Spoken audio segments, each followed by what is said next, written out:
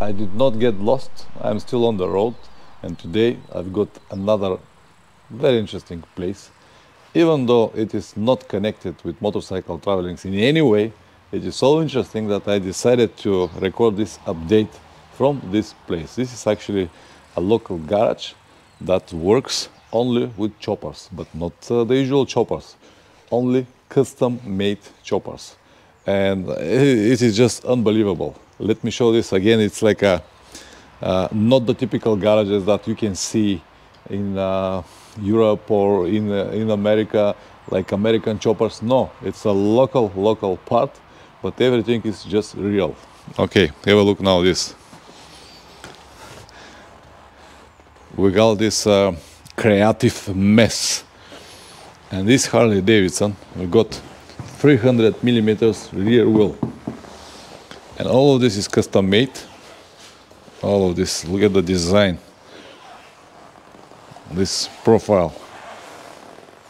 And each one of these beauties are selling for around 30,000 euros.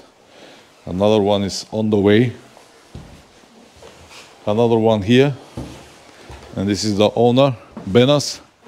Thank you very much for, for letting me touch, touch your, your hobby and your profession and your style. It's just wonderful. Thank you very much. Thank you very much.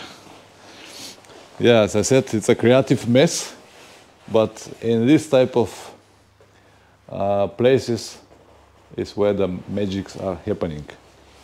See now this paint. What a, what a pleasure to have it. For all chopper lovers, this is like a, I don't know, like the best place to be. Wonderful. Just wonderful.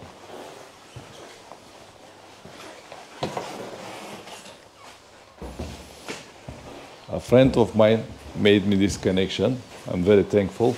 Rob, if you watch this, thank you very much for for sending me here. I'm so glad that I, I was able to see this place, to talk with uh, the owner. He uh, told me so many interesting stories, and I'm very, very grateful.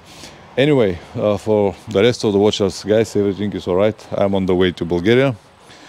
Uh, now I'm in uh, Lithuania. Tomorrow we'll be in Poland, then Slovakia, Hungary, Romania, and Bulgaria, which is mean that after maybe three, four days, I'll be back.